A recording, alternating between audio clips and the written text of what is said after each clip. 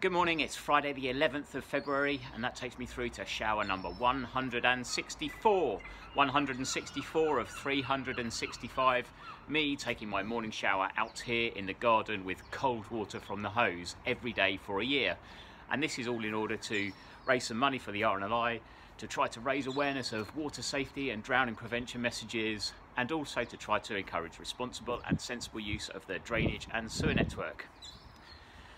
Today the weather is really clear, there's not a cloud in the sky, it actually looks really nice, it's really crisp, but it does feel really cold. The temperature has come down and there's still a bit of a persistent breeze, so an element of wind chill too. Let's have a look at the air temperature this morning.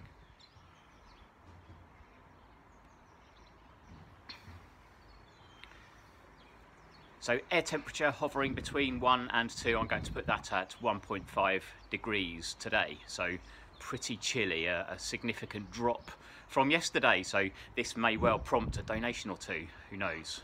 I've got three birthdays to mention today. So first of all, Laura Dennis. Laura, happy birthday to you. I've not seen you for a while, but I'm hoping the day brings you everything you want it to. Happy birthday, Laura.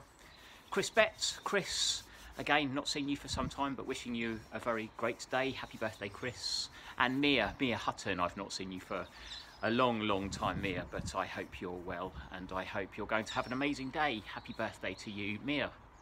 Here goes shower number 164, a really quite cold one.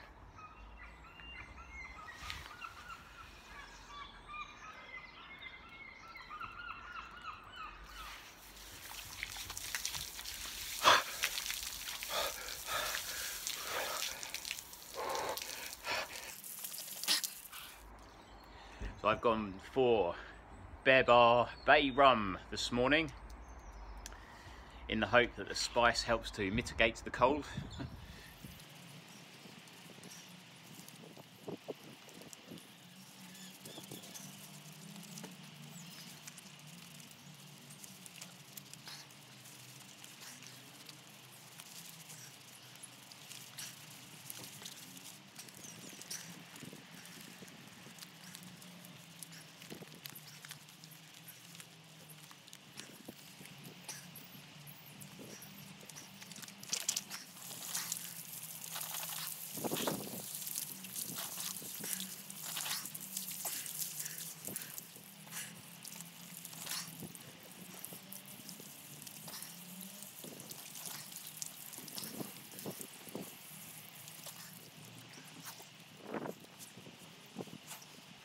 Uh, so that's it from me for today, shower number 164. Mia, Chris and Laura, happy birthday, have an amazing day.